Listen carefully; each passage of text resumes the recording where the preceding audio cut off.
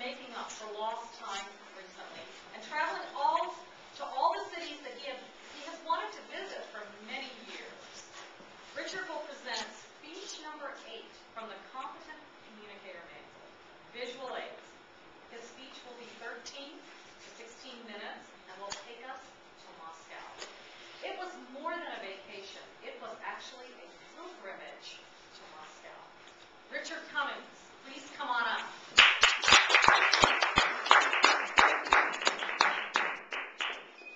Fellow Toastmasters, friends, guests. As the plane touched down at Moscow's Sheremetyevo airport, I was feeling two powerful but opposite emotions. On the one hand, I was about to set foot on the soil of my paternal ancestors, who for probably thousands of years were peasants in the Russian lands. I was feeling my Russian roots.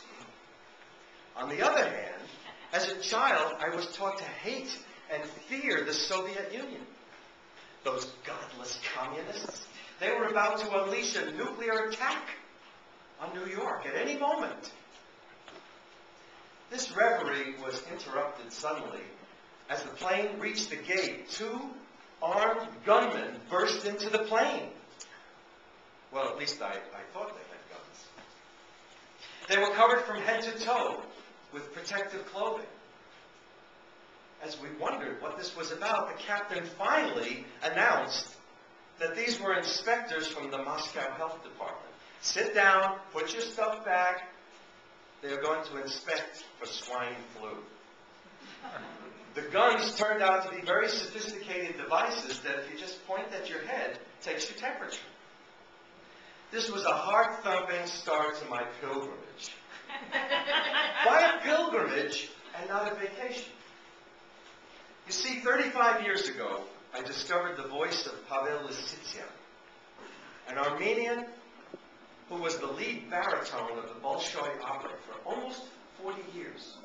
When he retired in 1967, he began to give a series of concerts and taught young singers all over the world until his 90th year. An incredible voice, powerful. His artistry was unique. Dottie was almost as good as Elvis. when Pavel died in 2004, at the age of 93, I discovered that he had a son. One of his sons was living in New York. Gerasim, or Garik for short, and I soon became good friends.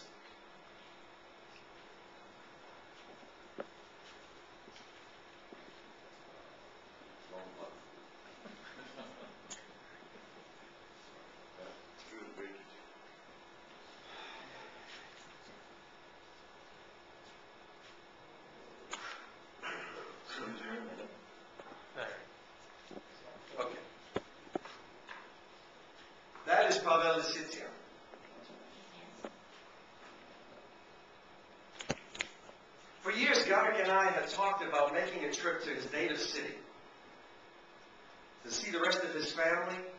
He has two sisters and a brother, all famous singers, and we could visit the places where Pavel had been such a star. And now it was a reality. But I have to tell you that Moscow's airport is far from modern. In fact, the whole city has a rather drab look. It's very clean, but there's nothing like the old quarters of other European cities or the gleaming architecture of places like Shanghai. We arrived at Garik's sister Karina's beautiful apartment right off the main street, that's Tverskaya Ulitsa, and we settled in to get over the jet lag. The next day, we headed for Moscow's two main attractions.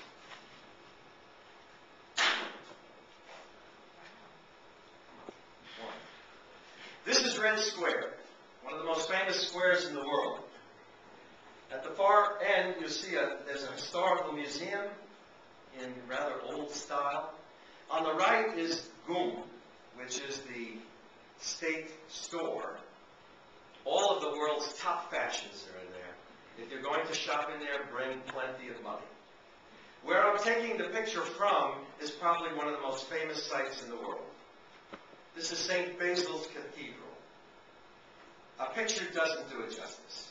It is really a magnificent sight. And you'll notice on the left, I, I thought my eyes were playing tricks. In Moscow, they do not want you to see construction. So that's what the building will look like. It's a very fancy backdrop. And especially they don't want to ruin the view in Red Square. This is a close-up of the spires. It is an awe-inspiring sight. In Russian Orthodox churches, there is never, after my own heart, there's never a blank space on the wall. Everything is painted or covered.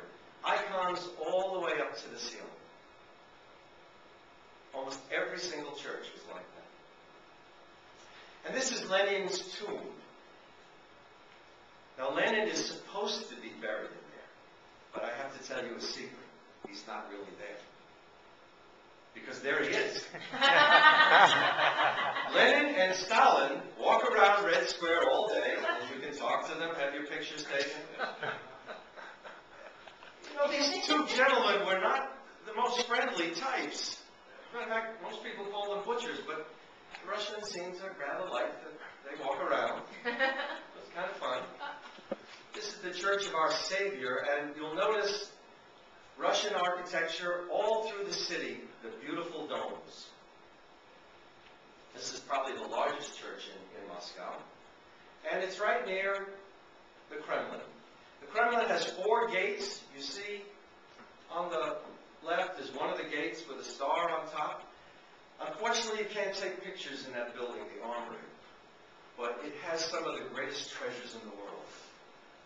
Fabergé eggs, 30 of Catherine the Great's 300 carriages, jewelry, Boris Godunov's coronation robes and scepter, stuff from Ivan the Terrible. It is an amazing collection. This is the Church of the Annunciation inside the Kremlin.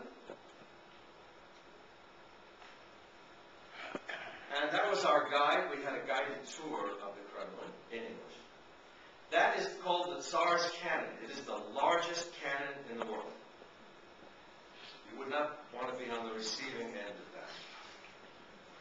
And this is also the largest bell in the world. You can see it cracked at one point a few centuries back. A massive collection. This is Moscow City Hall. Okay, it's, it's a nice building, but nothing spectacular. And here's a street in downtown Moscow. Again, a little boring, but very clean, but death-defying to cross the street. You do not want to cross a street in Moscow except at a light that you know is working or an underpass. Because they drive at, do you know how fast they drive? 90 miles an hour would be stretching the point. Here's one of the few modern buildings in, in Moscow. It's called the House of Music. But to me, it looks like the most expensive and largest hubcap in the world. We, we attended a concert there. Perhaps the most famous or infamous building in the entire city is this one. But it looks very nice. It looks like it might even be a hotel. But just the name of this building inspired fear for years. This is the Lubyanka, Stalin's prison. Once inside that building, you never came